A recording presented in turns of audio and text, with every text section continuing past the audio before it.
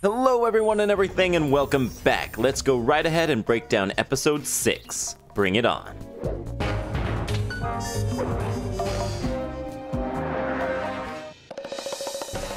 Following the trail of spice shipments, we made our way up to Nunavut Bay, Canada. Canada? Canada! It's north in North America. Hey! Yeah, so there's actually no such place as Nunavut Bay. Rather, the Nunavut region is the northernmost territory in Canada. Nunavut Bay, then, is just the game consolidating that into a space that can be used as a level. The secret hub of Jean Bison's shipping empire. As a young man, he trekked across Canada to strike it rich during the gold rush of 1852. An avid prospector, he took some chances and ended up buried alive in an avalanche.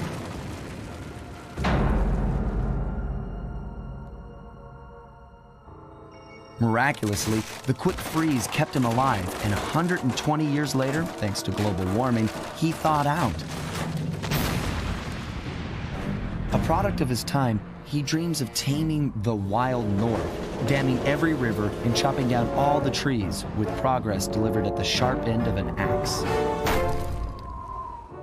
Shipping spice for the Claw Gang proved a lucrative way to bankroll his one man war against nature. And yet, I have to feel a little sorry for him. He's just a normal guy from the 1850s. Back in his day, he'd be a hero, but today, he's a villain. Ah, so he's basically the ultimate boomer then. For real though, Jean Bison is such an interesting character. Sly's 100% right, this is just what progress was 150 years ago. So we have a villain that you can really see where he's coming from. He's not necessarily sympathetic, but if we were put into stasis and woken up in the year 2200, we'd probably have some skewed values too. And I know I just made a boomer joke, but I have to roll it back, because the generation born around the 1850s was called the progressive generation. Did you do that on purpose, Sucker Punch? I hope you did. Either way, that man's got more than his fair share of the clockwork parts. What a low tech guy like Jean Bison is doing with robot parts is a mystery. I almost don't want to know. But as always, it's only a matter of time before I find out.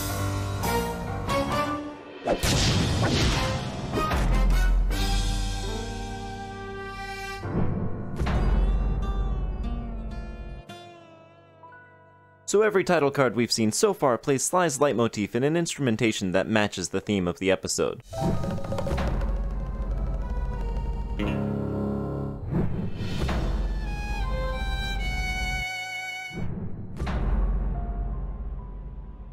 But I always get a special kick out of this one because the syllables just happen to match up with the notes. Take a breath, everyone. We made it through Prague, the emotional height of Sly 2 without a doubt, filled with treachery, daring rescues, elements of horror, and constant tension. The quiet winter of Canada serves as a cooldown period to let us recuperate and maybe settle back into our comfort zone. That's not to say this level is easy, but the tone is definitely much more relaxed. New in the shop, we have a very desirable upgrade for Sly, Silent Obliteration, which completely alters his stealth takedown slam move to I guess they get freaking atomized, okay. Bear in mind, it's not completely silent. The initial uppercut move still makes the same amount of noise as hitting any guard does, but it will attract a fair bit less attention than the loud slam. However, I do have an issue with it, and that is it's actually a little bit slower. I like the expedience of the slam, and you can always use the Voltage Strike for a quieter option if you need, so buying this one should really come down to preference. I've got a lead on the clockwork parts.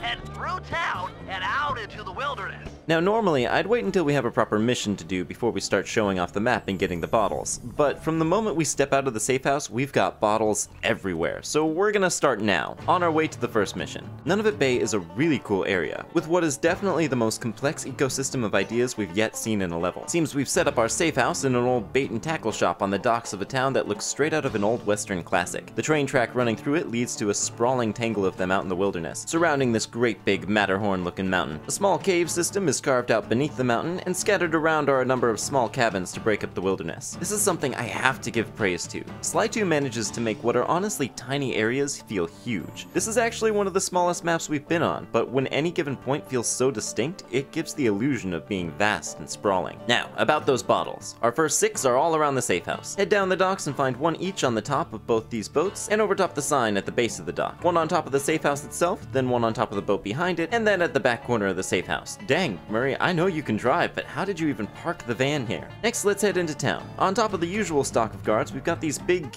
uh, snow tanks driving around. Trip the spotlight in front of them and they'll fire their cannon at you, but they won't notice you hanging out in front of their windshield.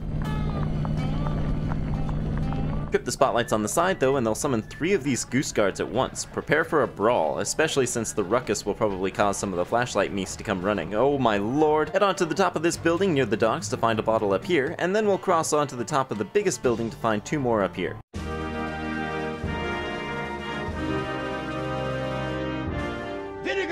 French fries, they sit on the Chesterfield, watch the hockey game, shoot the puck, daddy-o! Now cross to the building on the other side of the tracks and find another pair of bottles. And then cross the next pair of tracks to find one more atop the building here. Also, be careful crossing these tracks. Just like in Prague, the trains are instant death. Keeping that in mind, head along these tracks and find a bottle within this tunnel, and we'll kick off our first mission.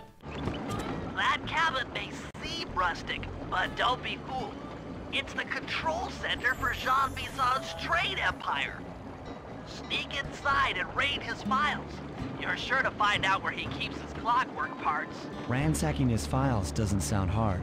Now, climbing up a sheer rock wall? That'll be a challenge. You're in luck. Before Jean Bison took over, this used to be a popular destination for rock climbers. Some of their old wall hooks are still around. I'm guessing I just jump and hit the circle button to latch on. That's right. And remember to lean back before you spring off the hook. You'll get more altitude. Thanks for the tip. I'll give it a try. Woo! It's our first brand new thief ability added to Sly 2 since crawling. I still can't believe that wasn't in the first game. Another new enemy type, these Rossetti moles are sort of like this level's equivalent to the snakes. The biggest difference being that they are actually a threat. If you don't take them out the moment they pop out, they'll probably get a hit off on you. This is actually the first real use I know of for Sly's triangle dive bomb attack, letting you take these guys out while they're attacking, but also be aware that they respawn constantly, though they may just be best left alone. Jackpot, Sly. That's Jean Bison. Looks like he didn't notice me come in. Just stay out of sight and take a picture of each of his train routes. They should narrow our search for his share of the clockwork parts. All right, I'm on it. Buckle up, we're gonna be in this room for a while. If you really want to, you can just grab the pictures you need and keep on moving, but Jean is having a juicy phone call right now, and how can you resist eavesdropping? Hello, Arpeggio here. Salutations, Mr. Arpeggio. Y'all got time to shoot the breeze? Of course, for you, chum, always.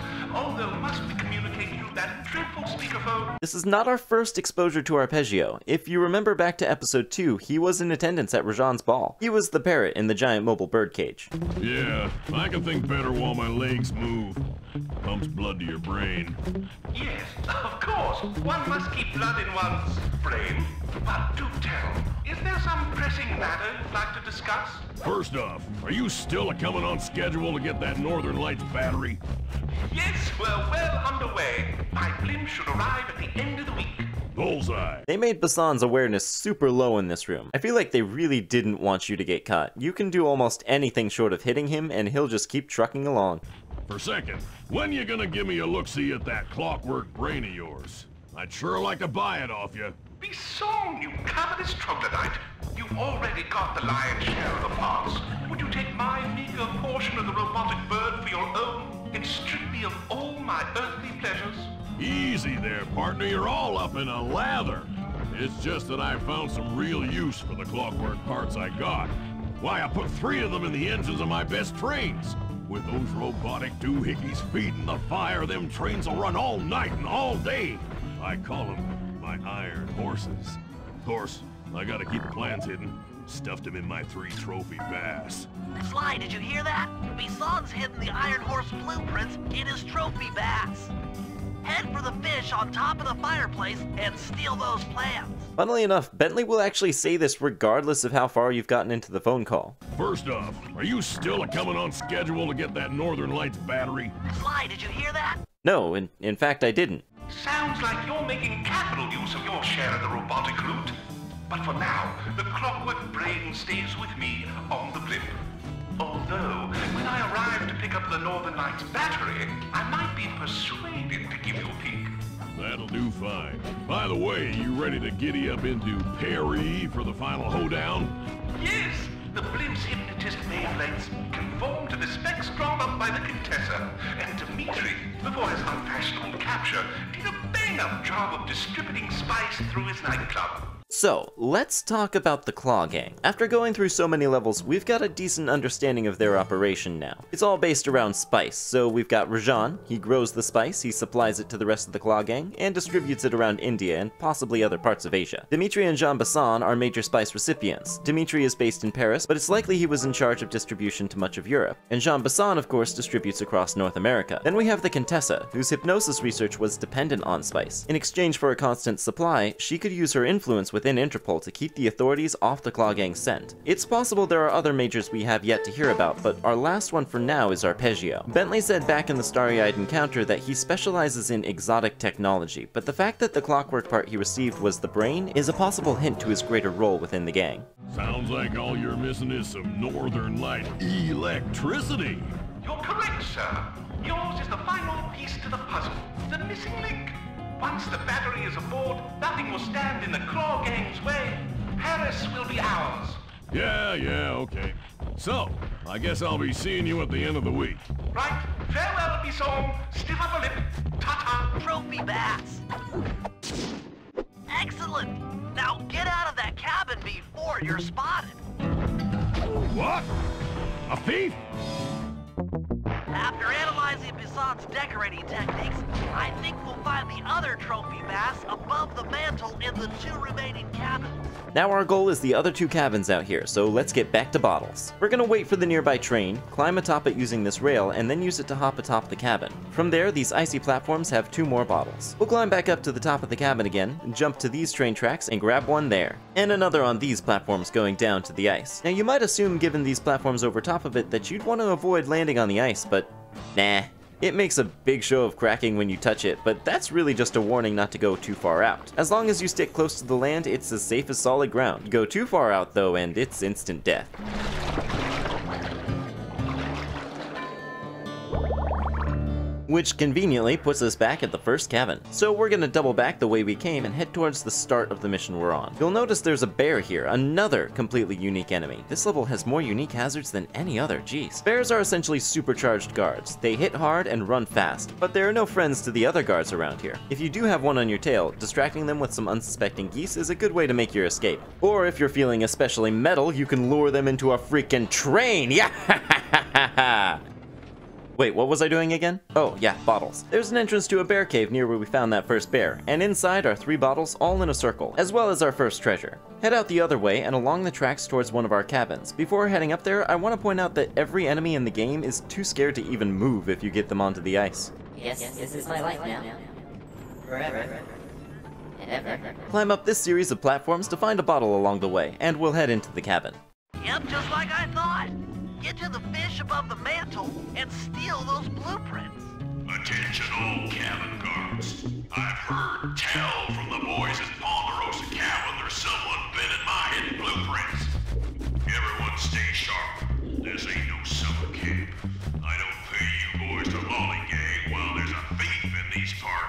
We know from this line that this is meant to be the third cabin we go into, not the second, but I get a kick out of doing it this way because it means he checked for the blueprints in his cabin, found they were missing, and went, uh, couldn't have been on my watch, those lazy guards. So if you accidentally step on these bottles of syrup,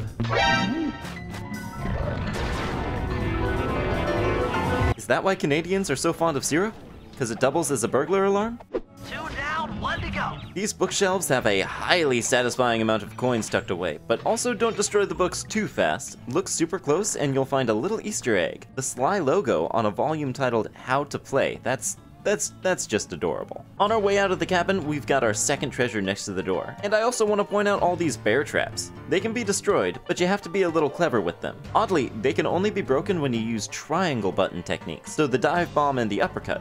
Weird. We'll find a bottle right here on the ice floats, and by climbing up and running along these power lines towards town, we'll find another. Now let's head back towards the mountain on these tracks to find a bottle on the way, and the rest will be around our last cabin. We'll start low, grabbing one in the river, then on these tracks heading towards the cabin, then dropping back down beneath the cabin to find one down here. Now we'll climb up these platforms for one on the way, one up here next to the cabin, and then down the northbound tracks for our last bottle. Ooh, that felt good. Let's celebrate by goofing off a little. We're gonna head up to the top of this tall track, and we're gonna hop onto this train's second car. When we try and ride it through the electric tunnel, we're gonna get ourselves a catapult glitch. It's just like old times. By the way, thanks to Joshua Barnhart for letting me know about this one. The last trophy bass is above the fireplace. Be careful. Yeah, I see it, Bentley, and as much as I'd like to sneakily navigate this cabin by cleverly using the environment, I also see my vault. Jean Bison's in for another rude awakening the next time he checks in this vault. The code should be 129.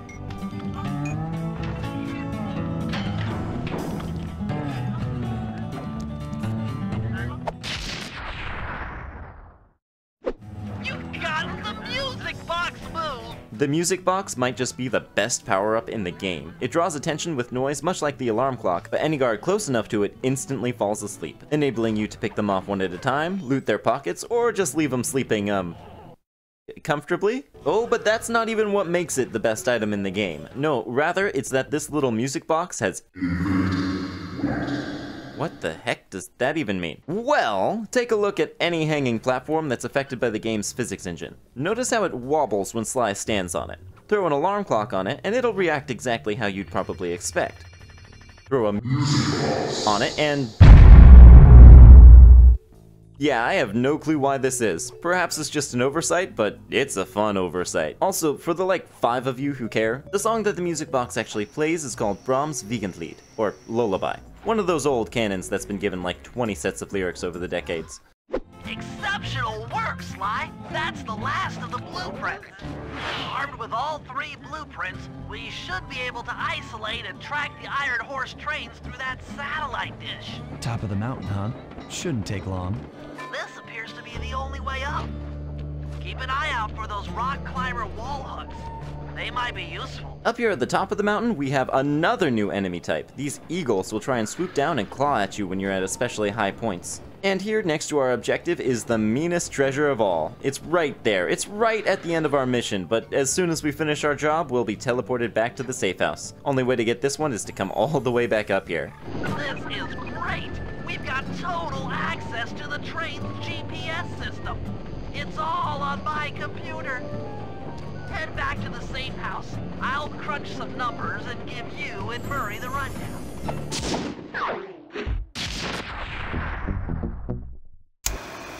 Thanks to Sly's efforts, we now know the location of all three of the local clockwork parts.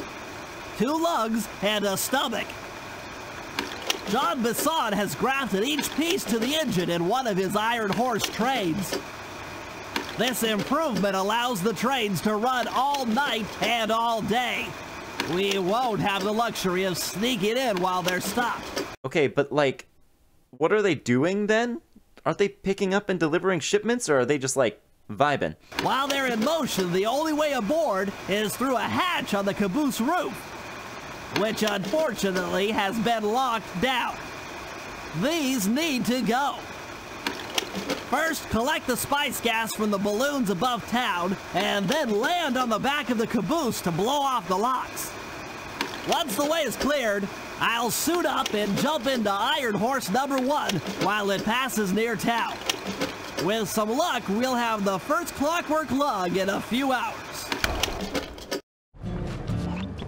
Sly, it's awful. I can't believe it. Slow down, Bentley. What happened?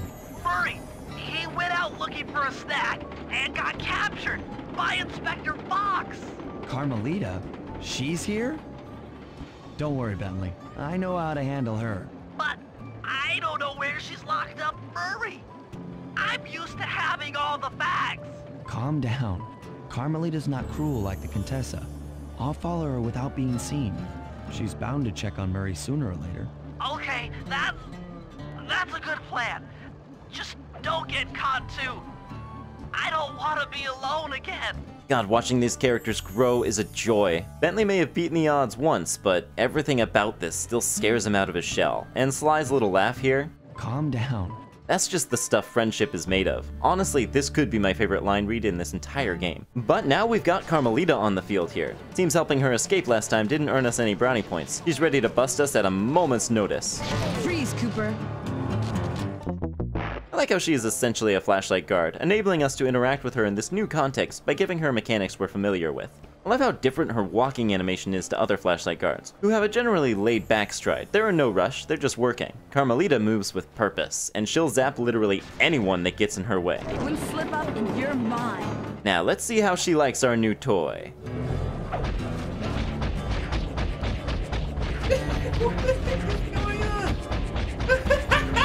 yeah, no, that that wasn't what I was expecting. Another bizarre property of this little box, it's sleep waves are actually a hitbox that radiates out of it. And since Carmelita is immune, it just beats the snot out of her instead.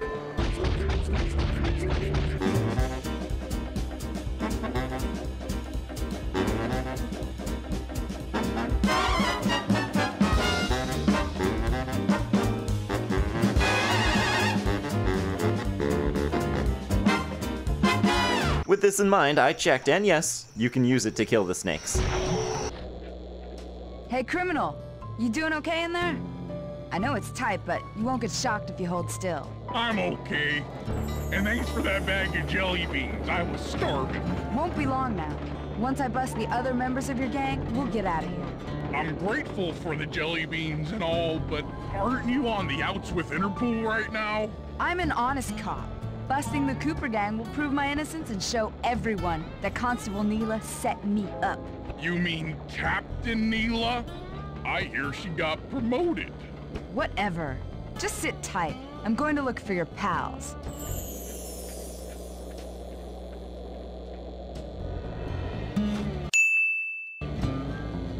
Murray, I've come to break you out. Fat chance. This thing is triple padlocked and Inspector Fox is carrying all the keys. Come on, buddy. You know I'm an expert at pickpocketing. She's tough, Sly. If you manage to get a key, you'd better run for it. Carmelita's sure to notice and chase after you. Leave her to me. So even the Murray says Carmelita is tough, eh? Only one way to know for sure. Everyone stay calm. I've got the situation totally under control. Okay, so yeah, she's she's pretty tough. Another fantastic pickpocket mission. What just... Cooper? We've got to snag all three from Carmelita, who will detect us every time we grab a key, and then pursue us just like the good old days. You can't run forever, coward. My favorite way to do this is to grab a key and then hop a train.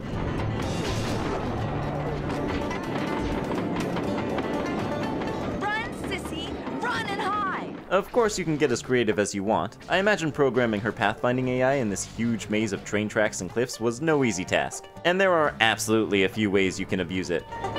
Justice will find you. There's nowhere to hide. Hide and cower, worm. You're no match for me.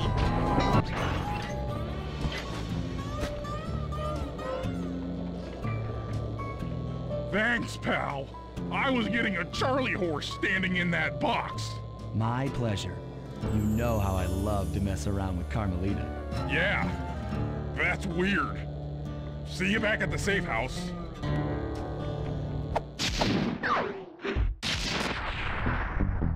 After completing this mission, Carmelita will continue to patrol the map on a permanent basis, making this by far the most unique enemies we've ever had to contend with in a single mission. It's been super fun to see how they all interact with each other. Sly, we need to break into the Iron Horse trades, but the only way in, through the caboose, is locked. To blow the locks off, you'll need to collect the ultra unstable denatured spice gas from those balloons floating above town. Man, I'm going out of my head with this one. Chemistry has never been my strongest subject, but I really have no idea what denatured spice gas could even be, or for what possible purpose you would store it in balloons. You're lucky you're fun, Spice Balloon mission, cause this isn't even the hardest I'm gonna come down on you. How am I supposed to get up there to collect the spice gas? Murray's already commandeered this ice plane. Jump on its strut, and he'll fly you up to a good paragliding altitude. Oh, and strap on a special vacuum backpack. It'll automatically collect the spice gas after you've popped a balloon. Sounds like fun. Once you've collected enough gas, you'll have to land directly on the train's caboose. Why directly on the caboose? Denatured spice gas is very unstable at lower altitudes. Unless you land on the caboose, you won't have time to get the gas tank to the lock before it blows up. So you're saying I either land on the caboose or get blown to bits? That's correct. Chemistry can be a harsh mistress.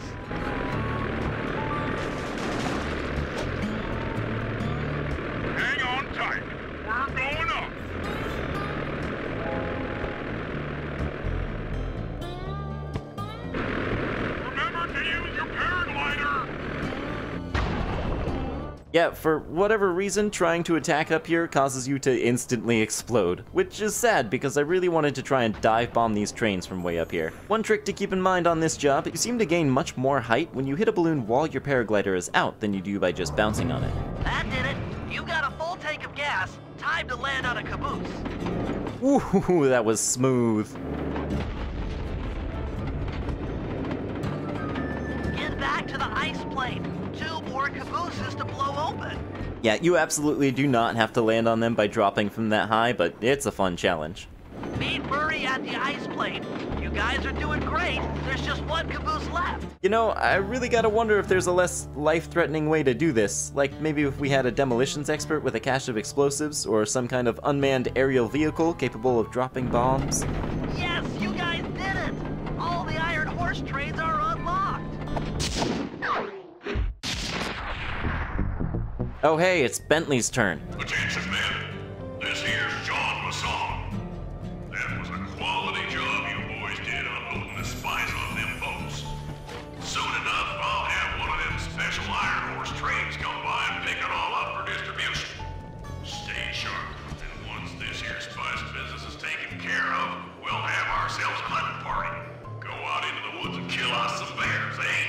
kind of monster would go out and purposefully kill a wild bear? Before heading out, Bentley's got a really nice power-up available in the shop, the Hover Pack. It gives him unparalleled jump height, and he rivals Sly for distance. This honestly turns Bentley into a virtually different character. We can now navigate certain areas with the most ease of any of the three, and it's got really satisfying momentum physics that makes it especially fun to play around with. A far cry from the meek little guy that first stepped out of that safe house in Paris.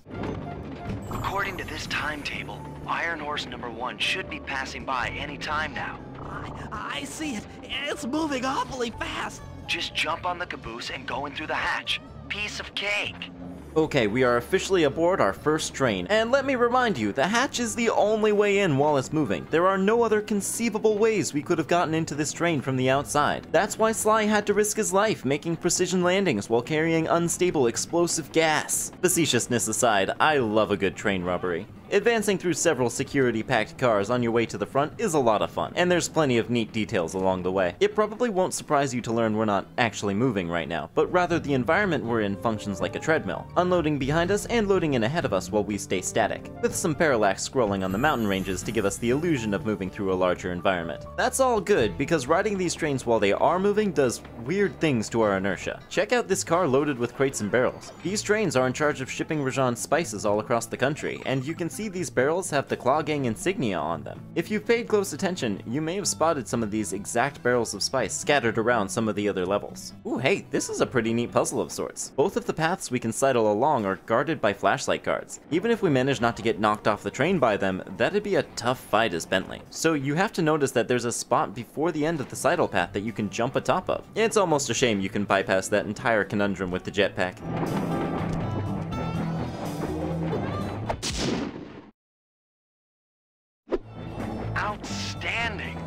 Chalk up one strange robot organ for us, and one less Iron Horse train for Jean Bison.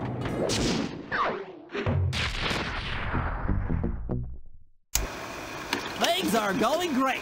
We've already stolen one of Jean Bison's three clockwork parts. However, Iron Horse 2 and 3 are going to be a little tougher to crack. First, I'll need to hop aboard Iron Horse 2 and do a little preemptive RC chopper strike to clear out the air defenses. Once cleared, it'll be up to Sly to work his magic in the interior to get at that second clockwork lug. Murray, you'll need to trap some of the local bear cubs in order to unlock a nearby hand car. We're gonna need it to catch up with Iron Horse number three. But don't worry, the cubs won't be hurt. Although I can't say the same for the guards. Let's keep giving Bentley his time to shine, why not? Heads up, Bentley. Here comes Iron Horse number two. You and that RC chopper of yours ready? We'll get the job done, provided I can catch up with that train.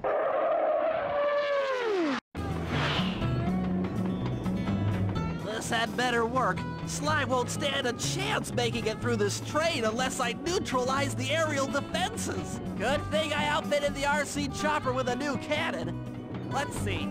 The X button drops bombs and the square button shoots forward. So we've added a forward gun to our chopper, turning this into a sort of Galaga Space Invadery kind of minigame. I should bomb those missile launchers before things get ugly. But with the additional element of still having our bombs to use on things below us. So we're doing battle on two planes at once. I like that quite a bit. I'm especially fond of the fact that you can hold down square to shoot consistently, but you can fire even faster if you rapidly press the button. That won't be too important to know just now, but keep it in mind for later. Finley strikes again. Yes, the aerial defenses are down. Now it's all up to Sly to finish the job.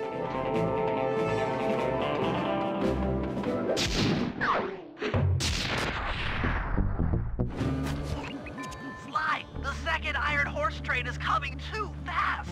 You might not have time to jump on top. Relax, Bentley. There's more than one way to get on top of that caboose. Wait a minute. This train is going backwards to how it usually does. What's that all about? The other clockwork lug should be hooked into the engine's furnace. Sneak your way up there and grab it. Now it's time for a Sly flavored train robbery, which obviously means more abusing our music box. No, it, it actually means we have a series of linear platforming and security challenges, once again making me nostalgic for the original game. Always a plus. You should have seen how many missile launchers there were attached to these train cars. I don't mind saying that it took some real finesse on my part to deal with the defenses. Heck yeah, Bentley, talk your talk. Attention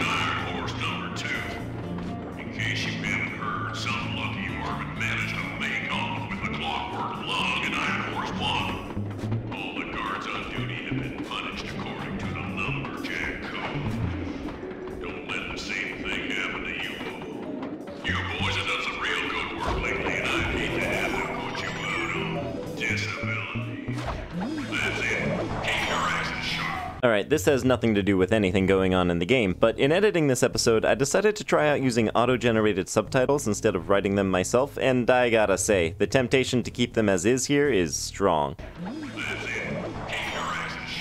Okay, so apparently the silent takedown can affect multiple guards at once? Alright, that's pretty cool. What the heck is the emotion this face is supposed to convey?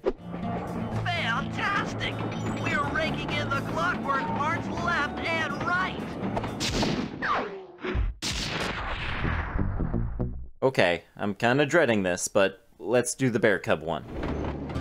We'll need this hand car to chase down Iron Horse number three. But for the time being, it's all fenced in. No problem. I'll tear that fence apart. A metal's too resilient for my bombs or your muscle. No, for this job, we're going to have to rely on a stronger force. The love of a mother for her child. Uh, you got something to tell me? Yes, I've had the good fortune of locating two juvenile bear cubs. The heck, why is the Binocucom zoom playing right now? Did it used to do that in the original? If you put them together inside that fence, they'd surely start fighting. No, no, it did not. We're using this one. Bears at that age are particularly antisocial. Noise from the squabbles should bring their mother around to free the angry youths. I get ya. That big mama bear will be able to smash the fence no problem to free her cubs. That's correct. Beware, cubs, for you are hunted by the Murray. Alright, Bentley said we wouldn't hurt any bear cubs. No, no god, Carmelita, Carmelita, stop. What are you doing? It's just a cub, Carmelita. Oh my god! You think I can just unsee the things I've seen? Good work, Murray. I'll send you the coordinates to the next bear cub. Okay, whoa, so apparently these goose guards are the toughest guards yet, apart from General Clawfoot, I suppose. They're the only ones so far who can take three punches from Murray instead of two. Even the Moosin go down in only two. Sorry to say it, but the other cub is somewhere in this bear cave. Be careful, Murray. Yeah, Bentley, I think you just like putting us in unreasonably unsafe situations.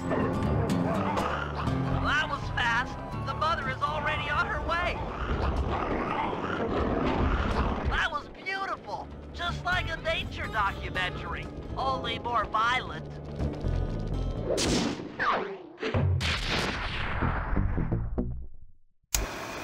Okay, guys, this is it. Alright, that's that's really what you're going with? Time to break into Iron Horse number three. and carry away the clockwork stomach. Now, the train's moving too fast to jump onto here in town, so we'll have to catch up with it on Murray's new handcar. Once we're in position, Sly will hop aboard and make his way up to the engine. While he travels through the interior, I'll provide air support with my RC chopper. I've planned this as a textbook train robbery. If we all do our jobs right, what could possibly go wrong? Why'd you have to say that? This heist is starting as Murray. Uh, hang on, have any of the actual heist missions been headed up by Sly so far? No, no, no, no, and no. Hop aboard, guys! We've got a train to catch!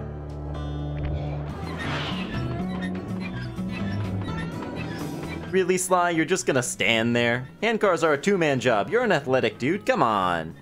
Got it. Strong work, Murray. Yeah, sure. The Murray's strength knows no limit. You're on, Sly. Break into that train and steal the clockwork stomach. That Jean Bison's one strange guy. The Claw Gang divides up the clockwork parts and he walks away with the stomach and lungs? It still creeps me out. Get creeped out later when we aren't riding an antique handcar at breakneck speeds. Good point. It's time for a train robbery. Alright, train robbery number three. Another one is Sly, but they've kicked it up a notch. Check out this second car. This is the craziest laser formation I think we've ever seen. We've got this grid going along the bottom, but we've also got these sets of diagonal lasers going from the bottom of one side to the top of the other. Sure, if you really wanted to, you could crawl underneath all of this, but Mama didn't raise no quitter. I've freaking got this.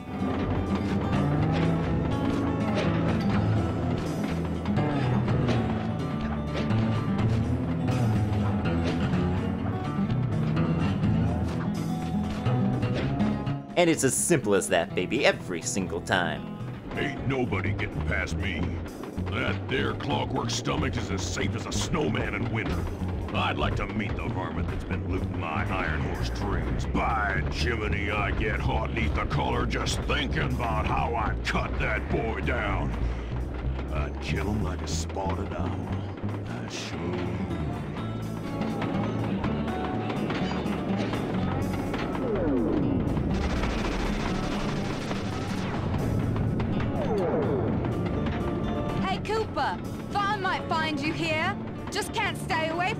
clockwork parts, can you? Oh, I just do it to meet exciting ladies like yourself. If you'd like some excitement, why not climb up on top of the train? I'm sure to get your heart pumping. Maybe even show you my new ride. No thanks, Neyla. I've seen enough already. What's the problem, Poodle? Afraid you can't take me on? Have to call up your little friends for help? Come in, little friends. Neyla's got me pinned down. Any chance of air support? I've already launched the RC chopper. She won't know what hit her. Come on, Cooper. Let's play. What in blazes? All right, little RC friend. This should be a quick bit of destruction. Oh, ho, Neyla's back. I definitely wouldn't have expected our boss fight against her to be in this Galaga bullet hell form. But here we are. Just hold down square and focus on dodging, and her HP bar will drain pretty fast. Or you could mash as hard as you can and take her down that way. You Robbie blighter! This is a... What? Oh no! Oh no! That was some fancy flying, little friend. Whatever you say, Poodle. Sly and Neyla's crackling banter is honestly just delicious, but we're also starting to see Neela become a bit unhinged. She played us like a fiddle in the first half of the game, but our escape and our antics in Prague definitely seem to have riled her. Each of her lines seem to have this slightly manic tone to them. Hey, Sly! Get to that clockwork stomach fast! This old handcart is starting to fall apart! Yeah, yeah, Murray, I got this. Although, mind you, this right here might be the most dangerous thing Sly has ever done. I feel like he'd be more likely to survive an explosion than falling off the train right here. Never thought I'd see the day when his stomach got turned into a tool of evil. Looks like Jean Bison's wised up and bolted the stomach down. We'll have to crack the engine block to get it free. Then that's just what we'll do. A well-placed bomb down the train's smokestack will knock it loose. Just make sure to take some cover. Not so fast, chum. The clockwork part is mine. They will all be mine. Okay, Neyla's back again, and honestly this might just be the hardest thing in the game. At least in terms of the fact that we haven't had a lot of practice with this mode of combat. Avoiding all these projectiles, as well as so many different patterns of attack, can be extremely difficult. I imagine especially so if you haven't had a lot of exposure to bullet hell shooters outside this game. I don't want to give the impression I don't like it though. I love a challenge, and I think this is a very fair one. But I could absolutely see it feeling unfair to other players. Even still, a bit of persistence or just another bout of button mashing, and she'll go down just fine. You won't stop me! Not the Cooper Gang, not Interpol, not anyone! I feel Neyla gets a bit of flack for her vocal performance, especially here. I don't know, she's no Julie Andrews, but I've never felt her delivery was particularly lacking. You guys will have to let me know if it sticks out to you. Stand clear, Sly. This might be messy.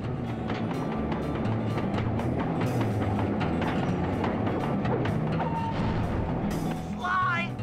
Sly! You okay?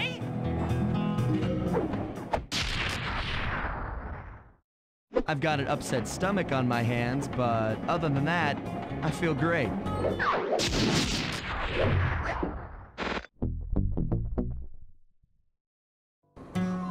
The gang and I had pulled off the impossible. We'd successfully robbed all of Jean Bison's iron horse trains, and we were walking away with three, count them, three clockwork parts. My god, we found it! The sideways D-shaped organ! The treasure of legends! And as a bonus, we shut down spice distribution in all of North America. Needless to say, we were pretty pleased with ourselves. Can't say the same for Carmelita. Once again, the framed policewoman had to run from the cops. Little detail here, I love how every character in this scene is ankle deep in snow. Which was fun at first, but I'm starting to feel a little sorry for her. I mean, what if they replace Carmelita with someone else?